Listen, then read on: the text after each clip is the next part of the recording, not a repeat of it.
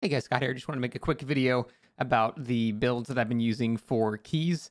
Because, I mean, let's face it, keys have become pretty useless for their base function, which is opening the hatch. It's very rare you actually have the opportunity to do that. And even if you do, if the killer's nearby, you still can't open it because there's actually a progress bar. Now, basically, keys were pretty heavily deleted. Um, There are some gimmick builds like you use Left Behind and stuff like that, and you can still try to get value from the key um, but I think using the aura reading functions of keys is a far better option. So what I've been doing for the past couple days is this is by far the strongest use of a key. It's basically the wall hack build. Uh, I made a short video about it uh, before, but I wanted to actually explain the perks and the uh, add-ons and the item and stuff like that. So uh, you can do this with any key. Uh, typically, you'd want to use it with the skeleton key, the pink one, because it simply has longer use time. But if you want to use it with the green key, that's fine as well. Um, so the green key with this build there's a lot of like modifiers to the actual duration that it'll last. Uh, but basically, it's going to last something like 18 seconds.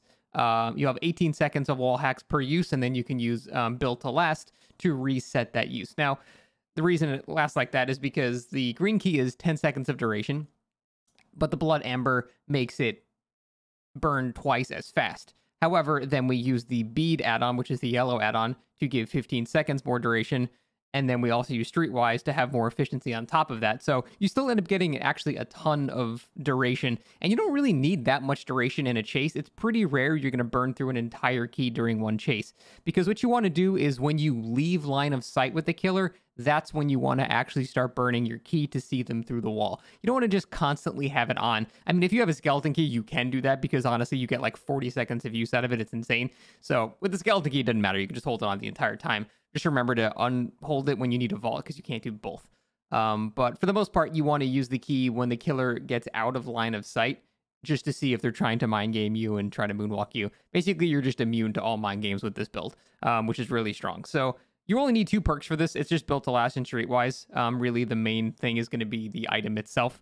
Um, the uh, the bead add-on is pretty common. It's I have a ton of those considering I never really use keys. I'm willing to bet most people have a ton of key add-ons because no one really ever uses keys anymore. So I'm willing to bet people have a lot of these things to use. Um, blood ambers are a bit more rare, but if you have any white wards, you can save them with that as well. Um, that's the thing though. Uh, blood amber is not the only aura reading effect of the key. You can also like see allies and stuff like that too. Um, so you can give yourself the perk bond. Uh, you can do a lot of interesting stuff with keys, which is why I legitimately think keys are still better than flashlights because they actually have a, a function even against good killers. They're uh, actually against good killers, they're better than flashlights because being able to just see a good killer try every mind game through a wall and them not being able to succeed ever is stronger than, in my opinion, anything a flashlight could ever do. Um, so this build in particular is pretty good. You can definitely go the find teammates way as well. Um, if you want to go for like a healer build instead of running empathy, you can run. Um, you know, I forget the uh, the add-on. It's a green add-on for it, but um, you can see teammates as well. Um, but yeah, I just want to go over what I've been using all my keys on, and uh, this build is sort of stupid because yeah, he just there's just no mind games from the killer anymore. You just see them everywhere. You can't ever be ambushed unless it's a stealth killer. That's the only time because if you are uh, if the killer's undetectable, you won't be able to see any auras. So that's the only thing that's going to be countering this. And I think we got one ghost face that actually still got damaged me because you know you can't just constantly be uh, aware of where their killer is. Uh, you're just going to burn through your whole thing. The whole point of the build is just to use it when you're getting chased to completely negate any mind games the killer has. So if you got a bunch of keys burning a hole in your inventory, which I'm sure a lot of you do since they nerfed them, I definitely recommend this build. You can use whatever other two perks you want. They can be chase perks, gen perks, do whatever you want. Um, as long as you're running built to last and streetwise, you're going to have basically over a minute of wall hacks per match, which is usually enough for multiple chases and enough to completely dismantle any uh, mind games the killer has. So definitely recommend it. Um, that's it. Thanks for watching.